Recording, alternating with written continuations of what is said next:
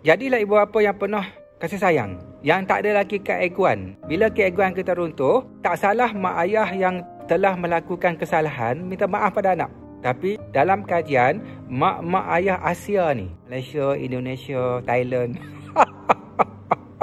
ya, mereka ada satu keegoan lebih tinggi daripada mak ayah di barat. Mereka tak akan minta maaf pada anak walaupun buat salah. Jadi, minta maaf walaupun kita mak ayah, kita tak perfect semua. Kita tak semuanya betul. Kita bukannya sempurna. Sebab tu kalau saya tanya awak, siapa yang paling banyak salah?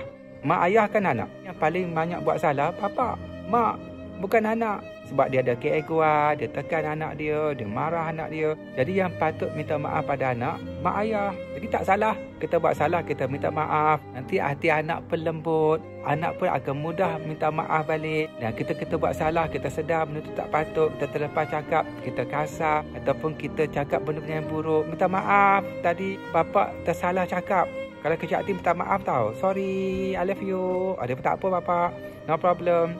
Dia buat salah pun dia minta maaf balik. Jadi bila ada wujud maaf memaafkan, maka hati sangat lembut, hati sangat touching, keluarga tu sangat cantik.